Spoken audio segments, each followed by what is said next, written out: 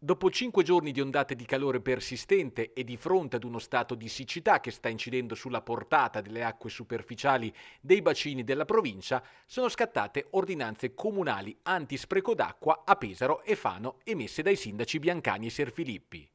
Ordinanze che salvo contrordine resteranno in vigore fino al 30 settembre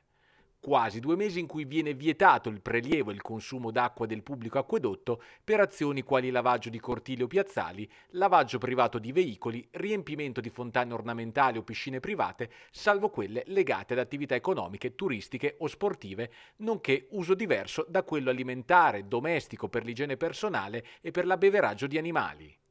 A Pesaro, per quel che riguarda l'irrigazione e annaffiatura di orti e giardini, questa sarà consentita soltanto il lunedì, il mercoledì e il venerdì fra le 22 e le 7 di mattina.